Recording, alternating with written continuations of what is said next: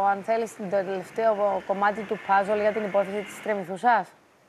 Έχουμε φινάλε σήμερα σε αυτή την πολύκροτη δίκη για τον φόνο της 75χρονης στην Τρεμηθούσα το Δεκέμβριο του 2021 με κατηγορούμενο τον σύζυγό της, ο οποίος θυμάστε ότι έκανε τον κύριο του κόσμου αυτή η είδηση ότι σκότωσε τη σύζυγό του για να την απαλλάξει από τους φρικτούς πόνους λόγω της ασθένειάς της. Ε, σήμερα θα κρίνει το δικαστήριο ε, κατά πόσον ε, ο, υπήρξε ε, συμφωνία του θύματος με τον δράστη για τον θάνατό της ή κατά πόσον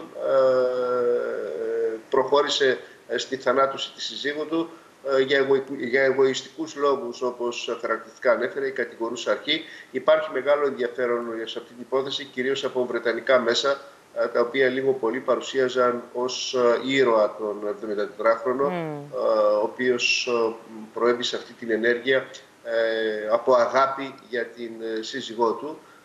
Είναι μια υπόθεση που απασχόλησε και την κυπριακή κοινή γνώμη ε, λόγω ακριβώς του χαρακτήρα της. Ε, ναι. Είναι για πρώτη φορά που ε, παρουσιάστηκε μια τέτοια υπόθεση για να εξεταστεί από τα δικαστήρια.